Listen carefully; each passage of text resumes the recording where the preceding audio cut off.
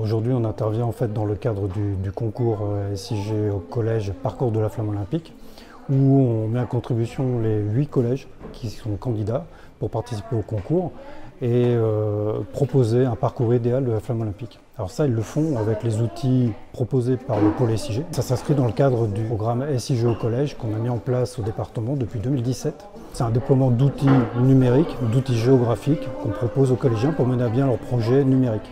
Donc en fait, les critères du concours sont proposer un parcours fictif de la flamme olympique, qui ne devra pas dépasser 250 km et devra entrer et sortir à un point bien précis du département. Et le produit fini sera une story map qui sera proposée au jury le 12 mai.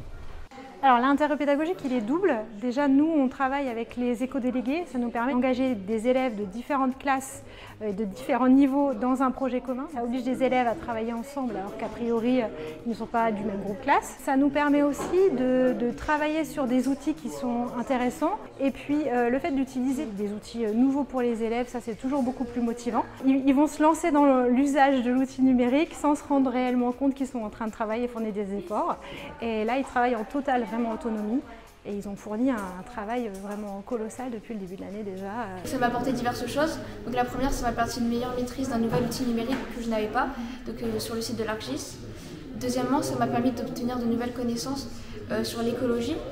Euh, donc nous, notre thème, c'est l'eau, l'Olympique, parce que pour nous, l'eau, c'est le cœur de la vie, c'est c'est au cœur de tout. Et euh, donc troisièmement, ça nous a aussi permis de découvrir de nouveaux lieux dans notre beau département.